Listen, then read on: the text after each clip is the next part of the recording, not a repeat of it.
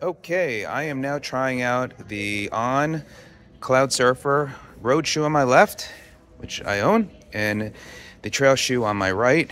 So I have the Cloudsurfer shoe in a 12 and a half. I found uh, these are a 12 and I got plenty of room in the toe box. In fact, let me just show you on this foot.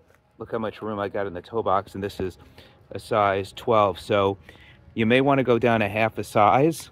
And so certainly you do feel a little bit of a difference. The trail shoe does have a little bit more of a firmer feel, but it also has some nice cushion feel to it. It really does feel nice.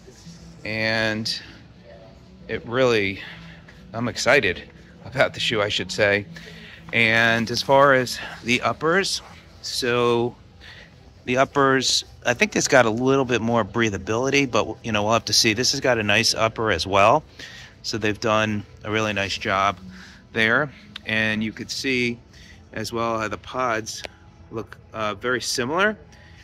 These look like a, they are a little bit bigger. They've, they've made them bigger. In fact, let me just take the shoe off for a second just so we can kind of take a look at that. I'm here at the store. And you could see Yep, how they made these pods a little bit bigger. And maybe they learned from this shoe to change that, although it's a hiking shoe, so that may be the difference on the two. And of course, you're gonna have a road sole versus the trail, so that will give you an idea there too. But uh, they both are sharp looking. I'll give you an idea on the back.